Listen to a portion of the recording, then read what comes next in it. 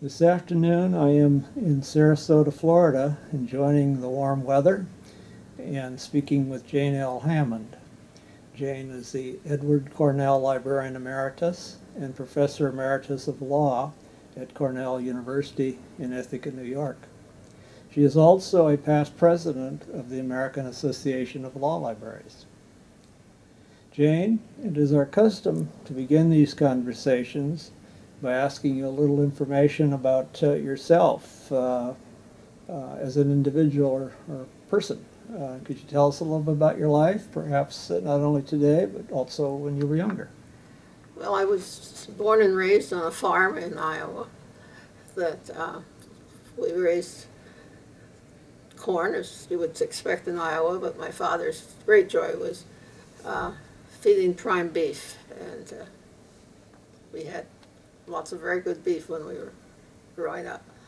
And uh, from there I went on to uh, the University of Dubuque to get my bachelor's degree, and right after that I went to library school at Columbia because uh, I didn't want my father to find out that you couldn't get a job with a liberal arts degree.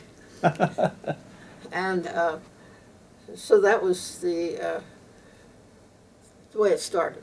Mm -hmm. So you have a degree in liberal arts, and, mm -hmm. and uh, the employment prospects were not as uh, grand as they might have been in some other fields at that time, huh? Well, and there were at that time there were very few fields open for women, mm -hmm. particularly if you were out in in Iowa. You, you, were a teacher, you were a nurse, or you were somebody's secretary, mm -hmm. and uh, or you got married. Yeah. So you decided to become a librarian. Huh? That's how I became a librarian. Okay. Yeah. Well, with that in mind, um, before we proceed to talk about your career, which I know is extensive and interesting. Um, could I ask you, if you have, now that you're retired and here in Sarasota, do you have any particular hobbies or passions or oh. other activities that you'd like to mention? Well, I uh, one of the things that I did almost all of my life was play the piano. Unfortunately, the arthritis started in my hands, and I had to give that up because I couldn't play as well to suit myself anymore. Mm -hmm. But I still attend lots of classical concerts. It's one of the reasons I moved to Sarasota because Sarasota has a lot of very fine classical music. Oh. And so, uh, which I enjoy and which I attend regularly. Mm -hmm. And the other thing is I do a lot of handwork, needlework, embroidery, uh, I don't do much knitting anymore, but I do embroidery work. Mm -hmm. And I've met some nice people through the embroidery guild here. It's always nice. And they must have similar interests if yeah. they uh, self-select to be in that same yeah, organization. That's right. Yeah, that's nice. Well, let's talk about uh, your career. As I recall, you uh, started where many of us in our profession would say sort of one of the top places, uh, Harvard, at the yeah. law school library. Tell us about uh, some about that job. Well, hiring in those days was a lot different than it is now. uh, the uh, I was working well. I was taking courses at Columbia. I worked part time in the New York Public Library, mm -hmm. and um, as I was getting towards the end of my degree, program, I was at work one afternoon and I got a call from Arthur Pulling, who was the director of the law library at Harvard, and who was looking for a cataloger. So he called, he talked to me one afternoon. He called two weeks later and offered me the job. and I still don't remember why I wasn't anxious beyond belief because this was just about two weeks before the I was ready to graduate, and mm -hmm. why I wasn't torn apart by the fact that I didn't have a job. I didn't understand, but maybe it was just because I was young.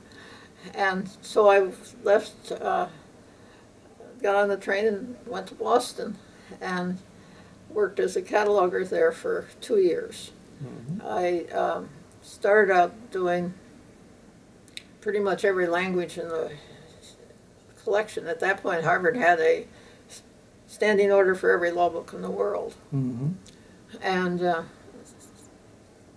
so I was doing a lot of that, and then the woman who had been doing the English cataloging left, and then I took over and did the English cataloging.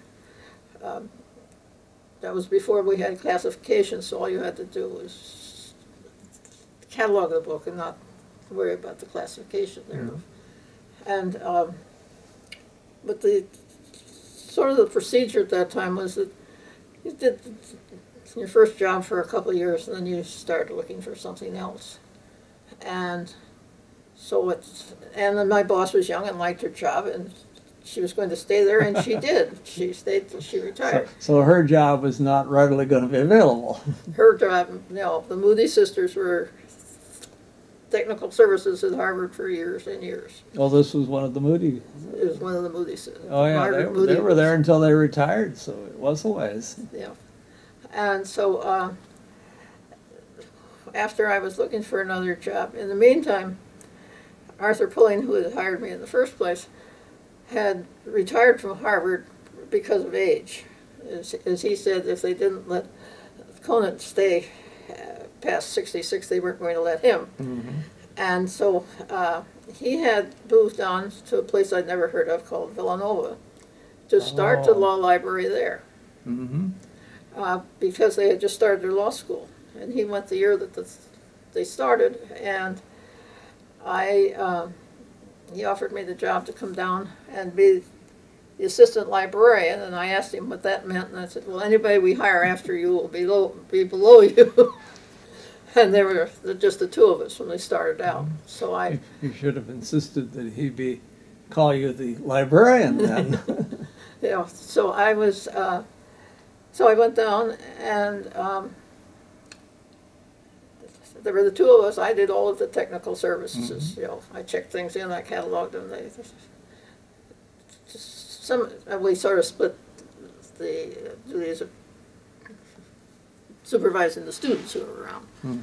But, uh, so I went down there and worked with him until um, he retired uh, from uh, Villanova.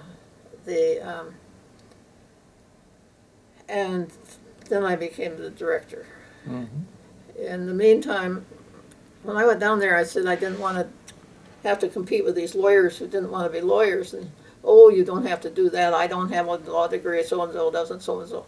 Well, I hadn't been in the business very long before I discovered that the people he had mentioned were anomalies. That it was particularly after World War II, that having double degrees was becoming more and more prerequisite for advancement. Mhm. And so uh, I went, started going to law school part-time. I took uh, one course, uh, one course or two, I think just one per semester. Um, So it took me several years to uh, finish the degree. I was very fortunate. Villanova never charged me a cent for tuition. So it cost me nothing. I went in uh, earlier in the morning and made up some of the time. And then I took two summers off and went to summer school at uh, Northwestern in Wisconsin because that I could go see my family in Iowa as part of that. And that uh, speeded up the process a little bit. And then when I finally finished, I uh, took the bar exam and became a member of the Pennsylvania Bar. Mhm. Never practiced, never wanted to practice. I was just very happy being a librarian. Mhm. So that was.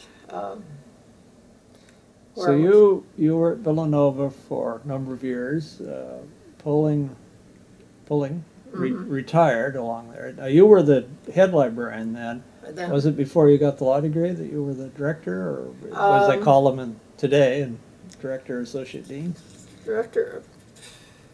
You would have been the law librarian or librarian. I um, no, I had the degree before he left, Okay. and um, yep, I'm, I've, I did have I had the degree because then I uh, could become uh, got the title of professor along with it, All right. and uh, when I had stayed with that. Mm-hmm. And I was at Villanova until 1977, I think, 76, fall of 76. Seventy-six bicentennial year. Yeah, well, that was, Mhm. I moved the year after I was president, of- immediately after I was president of the Law Library Association. And So- Morris Cohen, uh, may he rest in peace, was, uh, said that he had moved from Penn to Yale right after he was president. It was a mistake that I should take some time off. and relax. So I did. I took a, a whole month off Uh huh. between the two jobs and went to, uh, well, I went down to the Jersey Shore and really got away from everything for, Mhm. for a period of time, which meant that I didn't get to Cornell until the first of October. Yeah.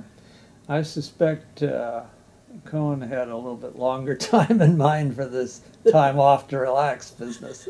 Well, I no, I think you know a month was within range, but he he had nothing. He just went directly from one job, from being president and moved into the, the went moved to Yale. And, uh, Well, you know, for today's law librarians who look at headquarters with the staff of professionals to do an awful lot of the things, in your day at Morris's, you didn't have the luxury of this staff. Uh, Oh. You had the executive secretary, or was That- that beyond when you were there too?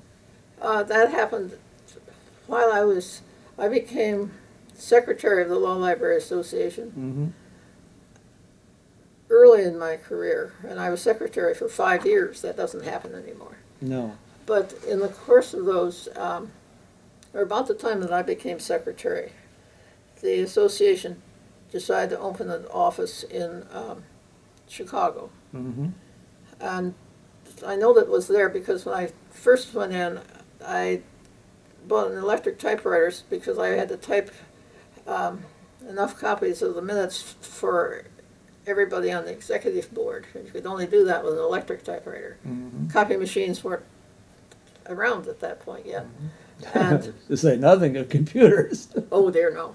Uh, so uh, then they, they opened the office in Chicago, and I didn't have to do that anymore. The uh, such production matters went in were done by Babe Russo at Chicago. mm-hmm. I remember going to the AALS meeting, I guess the year that I was going in, and I shared a taxi with Harry Bitner, who had been my predecessor at Cornell. Mm-hmm. And I said, well, we, we're opening the uh, office and we've got a balanced budget. And he was, was very pleased to hear that. I'll bet. that was very nice. He- Yeah. He also, uh, Harry was a president of AELO. Oh, yes, Harry. Years before. Yes, Harry had been president. And um, To say nothing, of being the author of the Price and Bitner uh, uh, book on legal research and writing, right. bibliography. And uh, uh, almost required to use that in the, the legal research courses. Mhm. I remember relying on it heavily when I was a student uh, in a program in Seattle that Marian Gallagher had. Mhm. Yeah. Well, you were uh, actually at Cornell, uh, I guess about 10 years then, after you got your law degree, and then you Yeah. went to, uh, or not Cornell, uh, you went to Cornell about 10 years after uh, you got your law degree at Yes. Villanova. And you were there until you retired in 1993. Mhm. Before we talk about some more of your involvement in the association and profession, uh, could we talk a little bit more about what you did and how the, what that job was all about in those days uh, at uh, Cornell? At, at Cornell, uh, when I went there, um, Lexis was very new. Mm-hmm. We had one terminal. It was about the size of a roll-top desk. Oh, I remember those things. And uh, the, the students, of course, at that point did not have computers. They were, they were, this was new to them as well. yeah. And uh, Boolean logic was something that they had not heard of. And uh, of course, now you don't use it either because the search engines are so much better. But uh, in those days, he really did have to use but not and the other connectors too. And you had to be able to spell things exactly the way, right or wrong, that it was spelled in the database too. Yes, and, and then I still say, tell anybody that it's, it's, it's fine if you want to find something very specific, but if you want to find something on the Fifth Amendment, then a computer is not going to help you at all. It's, there, there's too much. Yeah. And so, but it uh, certainly did change the way everybody does, has done business. And the, a very nice, smooth idea in marketing was that Lexis uh, gave great discounts to law schools so that the s- students got hooked and went out and were very adamant about having it in the firms when they moved out. It was- When Westlaw came along, uh, that company had to offer the same sorts of discounts uh, Mhm. to the academic community. and- Yeah. And I remember I was president when uh, Westlaw just came out, and I got a call from Lindbergh, and uh, you know what what the, should they do? How should they promote this? And I suggested that maybe they should have a booth at the in the exhibit area, uh, which hadn't occurred to them Mhm. or nearly as I could tell. And so they started with a little booth, and of course, by the time we got through, they had very extensive uh, setup and professional uh, programs for Westlaw at the conventions. And uh, well, he was the first. He was in charge of Westlaw, Yeah. and um, which was such a different thing than anybody else West had ever encountered. West was uh, paper and books and, reports, and that was it. I probably shouldn't uh, mention this, but I'll make a pitch because Bill Lindbergh, like yourself, is included in our oral history. Mm. And in his uh, conversation, he talked about the development of Westlaw within the company and some of the, you know, decision-making process. Uh, Dwight Opperman, who was the president of the company, was quite an advocate of going in the direction of Westlaw. Mhm. Westlaw took them. But needless to say, there were others in the executive ranks who didn't see it the same way. know, That's an interesting uh, story that he tells, I think. the um, well, it, because I was in Pennsylvania, I was also involved, met with, talked with the people who were starting uh, what became Lexis. Mm-hmm. The, the uh, do we have time to talk a little bit? About Oh, yeah, that? we do, yeah. Um, there was these, these two fellows. I think one of them's name was Harvey. I remember most of the uh, his favorite drink was uh, Bloody Marys with lots with a big stick of celery. But um, they were in Pittsburgh, and if you wanted money in Pittsburgh, you tied it to health, and then you got money from Mellon. Mm-hmm. And they had been doing some work on cadavers and checking the laws of the various states. And the indexes were a challenge to know what words that they had used, but once they got to the law itself, they all were very much alike. And it occurred to them that if you had the full text, this would be a much easier thing to do. Yeah. And uh, so they started in to think about using full text. Mm-hmm. And they um, got the funding and converted the Pennsylvania statutes, the codified statutes, into machine readable form. I remember talking to uh, a salesman for microfilm, and he uh, said, "Oh, but know, they'll never be able to have uh, enough memory for all of that." Poor soul. Well, times have changed. yes, uh, he, he became obsolete. His business became obsolete. That's right. But uh, it was an interesting process, and then uh, this they finally moved over and became Obar in Ohio. Mm-hmm. And NCR was bought a small company because they wanted the company's patent on a certain ink. And this company came complete with this one line on its spreadsheet, or whatever it was, that said, uh, legal database, eight thousand dollars. Mm.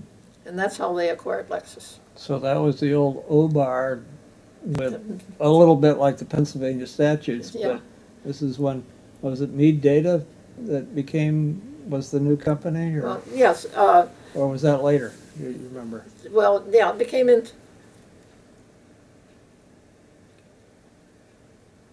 Because that was a paper company at one point that owned yes, and this was. Lexis, in addition to that its may other be what the. NCR bought, that was Yeah, part of Mead That Data. must have been how that all came about. And it came around and got into, Yeah, and so, uh, and then they, you know, this eight thousand dollars, they, they sold for billion. There's some unbelievable amount of money when they finally moved so the eight thousand was what you would pay to acquire this product to sell. That was the product, that was Oh, I misunderstood. I thought, well, that must be what it, they were trying to charge lawyers in those No. days or something. no, that was the whole thing. Wow. So imagine what their capital gains was. Oh, I imagine the But, U.S. uh, government would uh, love that. but, uh, it's an interesting story. Uh-huh. Well, you were part of the profession then during a time of tremendous change as the computers and everything else came in, and microfilm along the way, and then sort of it faded uh, in a way. Um, but you mentioned that OBAR, Lexis started with full text, and that's, of course, my memory as well. But the Westlaw at the time was mostly just its headnotes, and uh, it was an index, to, but you still needed the books. And, They- they- uh, yeah, that was one of the differences for a while, short while. Yeah, they, uh, were very proud of their, uh, an- annotations Mhm. on the reporters, that- and so that was what they used as their database.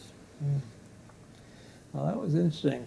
Now, you've already alluded to, uh, you know, some of the work you did with AALL, and I know you were active in other organizations like the American Bar Association uh, in connection with uh, accreditation of law schools, among other things, and I think in the Association of American Law Schools group as well. Um, you know, in effect, Jane, you're one of the few actually in our profession who can, I think, legitimately be described as a very broad-based and, and uh, major leader in the profession. And I'd love to ask you to tell us a little bit about some of that aspect of your uh, professional life, some of the things you did. You've already mentioned uh, you were, what, five years as secretary for ALL at a time when that was a very different job than the Right. secretary has today. And the, uh, I was on almost every committee that was an AALL. And um, one of the things that, uh, not only was the profession changing in the the way of computers, but also at the time that I was active, which was mid was president in the mid 1970s, law firms were beginning to explode, and suddenly there were a lot of law firm librarians. Up until that time, there'd been very few, and they. Um, to order to get themselves to the convention, they want, had to be attached to something, so they all wanted to be on the law library, the private libraries committee. Mhm. Well, you ended up with ninety people, and ninety people is not a committee. No. It's, it's a, it's a section, I Yes. decided, and followed the Special Libraries Association. And so while I was president, I initiated the idea of having sections within the Law Library Association. Um, I asked Roger Jacobs and some other committee members to uh, write a, some bylaws for for this. And while it didn't happen while I was president, it happened very shortly afterwards that we got the sections. And then when we got sections, we suddenly had more than, we had competing programs. Up until that time, there'd only been one program. That's right. Every time in the program was, a you could put in your pocket. And now it's, there are these competing programs and it's a very big production. Mm-hmm. But it, it started with that, and uh, I had no idea, and I don't think anybody else did, how essential this became. It's- it's, uh, For many people, their section is really AALL. Well, as you say, it's like type of librarians are those with fairly similar interests in their work, and so the special interest sections have basically become, I guess, as you as you say, the the association's sort of front office for those people. Yeah. The, the, the technical services people, for instance, who had no real engagement with any of the things that we had for programs. Mhm. And um, now Met, and of course, cataloging has, uh, the computers changed cataloging Mhm. greatly, and so they, they did have need to be able to talk to each other Yeah.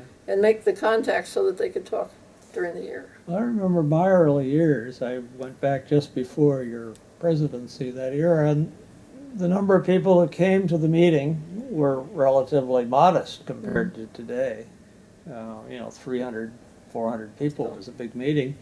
And as I remember, a lot of them were uh, directors or law librarians, or whatever the title at the time was, and uh, be it of the academic schools or uh, maybe some court librarians, state law librarians. Um, few from the private law sector, but uh, you didn't have a lot of the uh, the middle level positions represented uh, at the annual meeting. Most people didn't come.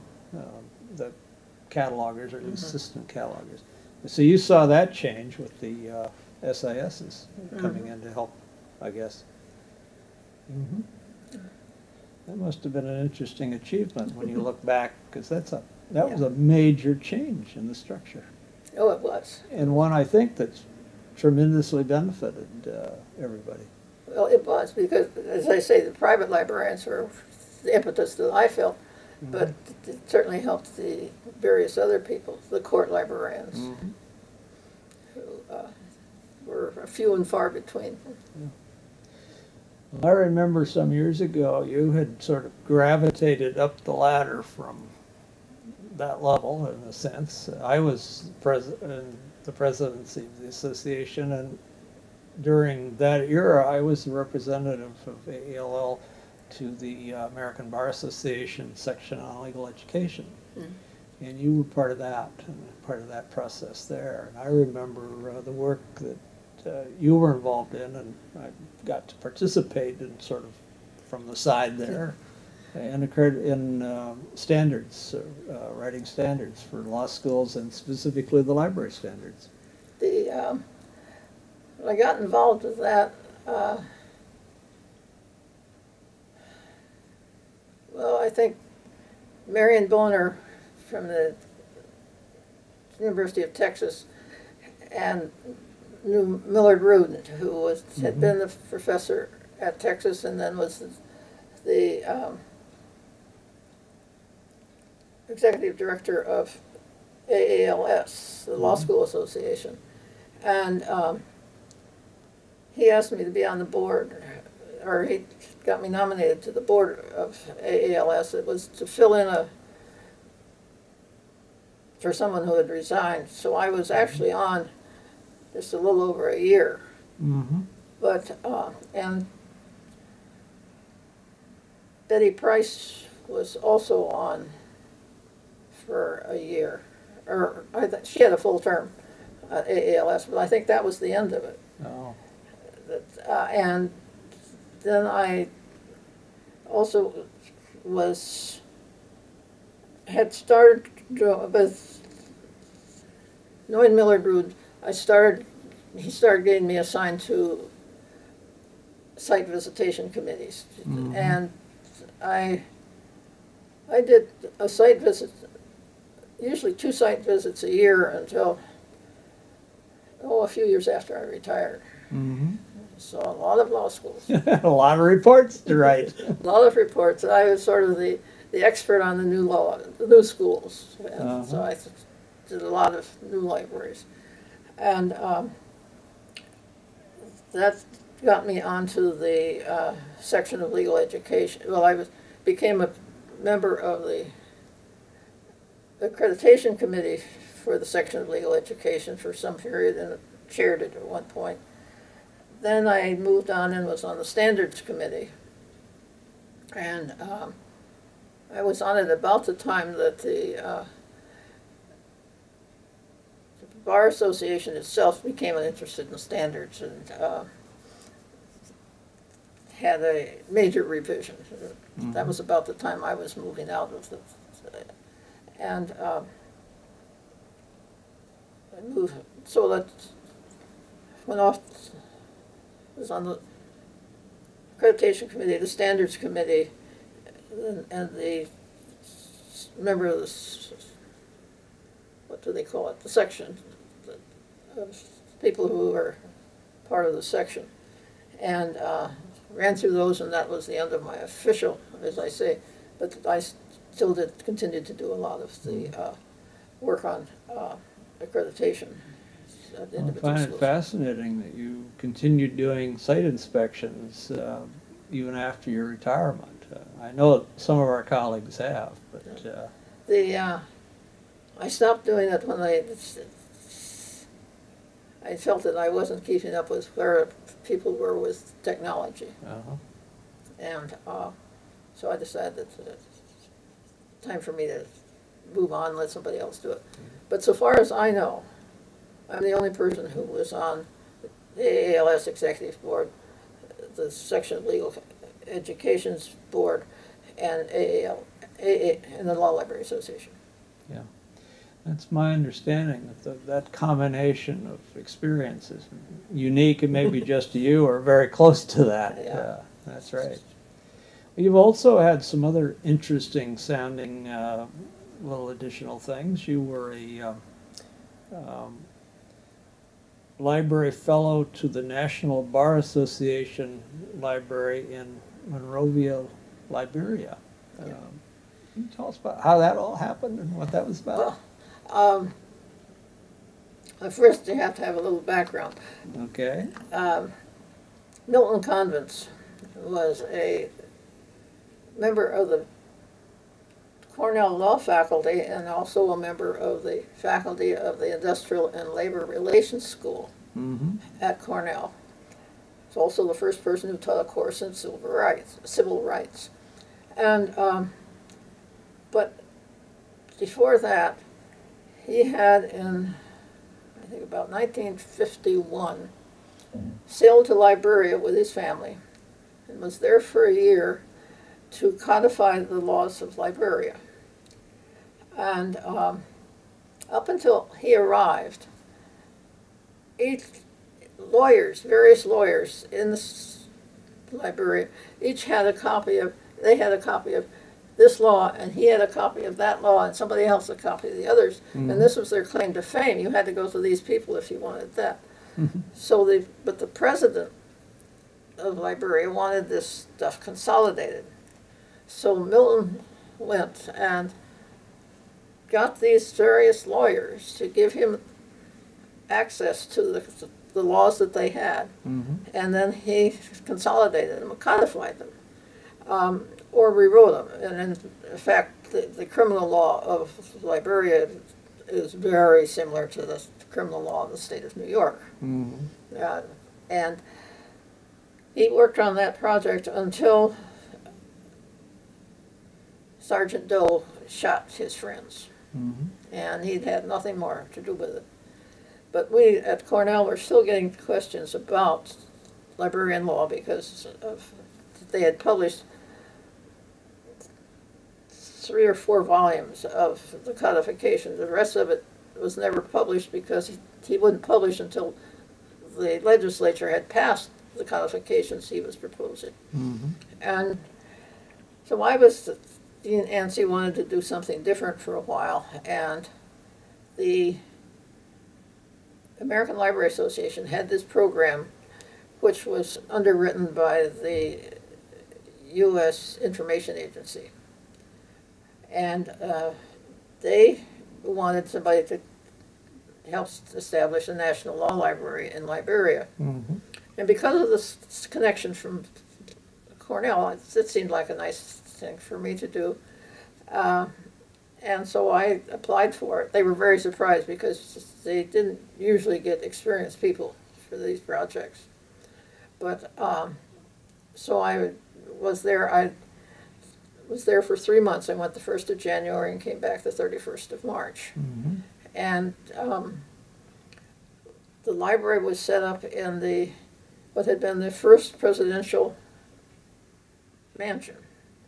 Not much of a mansion. It was, it was just- it was but it was an historic building. It was Yeah. well built, uh, brick, and two stories. Uh, So the, the uh, weight of the books wouldn't make it collapse, I trust. yeah, the books wouldn't make it collapse, but nobody gave them any advice about how to build bookcases, and so they had made them out of cheap wood Oh, and five foot shelves. Oh. they must have sagged in the middle. they sagged and they fell. Yeah. So when I got there, there was they had hired somebody who came in and he was putting braces in the middle of each each one of them, and the law lib the USIA librarian for the area of Africa, she she covered several countries. She had she'd come up before I got there in the summer, and the books were all covered with mold. Mm. I imagine it's a, is it a humid climate? Yeah. Well, in the summer, it, it rains and rains. And Oh, I, there's someone who had been there and said that, you know, they didn't believe how much it rained, so they let- put a bucket out one night and came in the next morning and it was full. Oh, wow.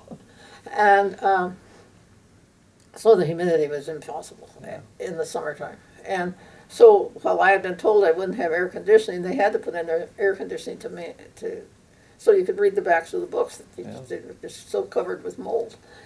And uh, I was there in the winter, and the winters are dry. And what we had was all the dust blowing in from the Sahara Desert, but. Uh, it's not nearly as hard to deal with as the humidity. But I, they had bought a number of books, um, a lot of lawyers co-op sets, um, Mhm. and others. And so I went in and um, they had reporters, and we created a library out of it. Mhm. with, uh, and I trained a native librarian to uh, to run it after I left, and I also uh, consulted with the librarian at the Liberian Law School, the University of Liberia's Law School. Mhm. One of the things I did for her was to get the Cornell Library to send us an old copy of the uh, LC classification Mhm. so that she worked with that. Now, um, I'm sure that none of it exists anymore. Mm. It, uh, the absolute chaos that came with the revolution shortly, shortly after I left Mhm. uh, just destroyed all of that sort of thing. And someone, people say that's the price of working in those developing countries. Yeah. Well, you were there for what, one, one time for just a few months or? Yeah, I was there once for, Yeah. for three months. And uh, Mm. it was, uh, and it was very shortly after that that the uh, unrest started. Uh-huh. Even from time to time today, they, they continue to have problems in that country specifically and in that whole region, I believe. with Different Yeah. factions trying to take over. Yes, and uh, the uh, and then of course the, the uh, Ebola hit, Yes. And That's, of course, been fairly current, Yeah, uh, so this. but it's been current- around a while there. It uh, has certainly affected the whole atmosphere there because it's, it was so vicious. And still is, I guess, in some places. Yeah. You're still listed in the directory, and, uh, um, which is interesting. Yeah. but, uh, Many people after retirement do not continue in the association, Mm-hmm. but they get dropped from the directory, so I won't tell them if you don't. I found it uh, very useful to find Well, one of the address. things is that, as you know, in academic libraries, Mhm. membership is paid by the school, by Yes. the law school, and so you're not accustomed to it. I Mhm. personally, I never campaigned for it, but I really wonder whether the association shouldn't do, give you more than a plaque when you did an honor like this, like maybe free membership. It'd be nice. Yeah. Mhm. Oh, Well, But all, those are they, the, they give you a discount. the, uh, you know, that's, the plaque stuff is one of the things that didn't move when I moved to Florida. Yeah. Well, I also understand that, because I was involved in leadership when budgets were not balanced, as Mm. they were in your era, and we had to rebalance them. And one of the things we did, uh, the association hired a cost accountant, uh, Mm. the executive director did at the time, and figured out what it really cost to service each different type of member. And the retirees, like you, you or me, if we are members, and, and I am, um, the, what we pay essentially covers pretty much just the direct costs associated with, uh, servicing the membership, including, you know, the Law Library Journal and the, um, Spectrum and some of the things we get, And all the mailings, yeah. you know, all the mailings. Mhm. Well, you know, Jane, um, we've talked about your role in the association and in the profession and some interesting times that you were part of it. Um, uh, but we're nearing the end of today's uh, conversation, and I'd like to ask if there's anything that we have not talked about that you uh, would like to mention at this point. No, I, I think I've uh, covered all the things I was interested in. I was, I wanted to talk about the sections, the or- origin of that. The, I guess the other thing that I have done was I was on, as I say, lots of committees, but I was, the biggest committees were the, um, connected with the director, the executive director of the association. And Mhm. uh, I was on a committee that decided, that- that recommended that the first director's contract not be renewed. And then I was interviewed on the committee that interviewed for the next successor. Mhm. So that I had a, a piece of that going on as well. Well, you stayed active behind the scenes then for quite a few years, because Yeah, so that there- was a, well after your presidency when uh, Yeah. that was happening. Yeah, those, those things were well, right, yeah, much Yeah. later. And the other, uh, thing that I did that I guess we haven't mentioned was that I was, um, on the advisory committee for the government printing office. Oh, And that, um, I think there was a, a law librarian on it before me, and I don't know whether there still is or not, but, uh, that, that was an interesting assignment to, Mhm. uh, Dan Henke was the one who was instrumental in getting it possible for a law library to be a depository library as well as university library. They could be two on one campus. yeah, that was a big achievement. Yeah, uh, he, he worked yeah. Hard on it, and Raymond Taylor also picked up that. Well, I remember Raymond, he, uh, he was in South Carolina, I think. One of the Carolinas. Yeah, as state librarian, and then Yeah, and- eventually became sup- superintendent of documents uh, up in DC. But he, uh, well, he was involved, Mm-hmm. pushed for this, and um, it was a, a very nice, wasn't nice, it was an important thing for the law libraries. And um, but that was, uh, the committee made recommendations, and the one that I remember, because it was the- first meeting I attended, was, why can't you put on the depository libraries the preliminary print of the Supreme Court? And the then superintendent of documents looked at and said, well, yeah, we could, we published that. And later I had public librarian come up to me and say, what's the preliminary print?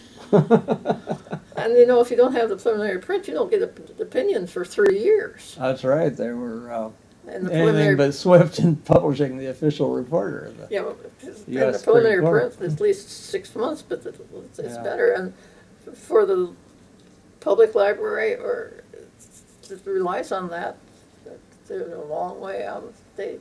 Yeah, So that was one of my accomplishments there.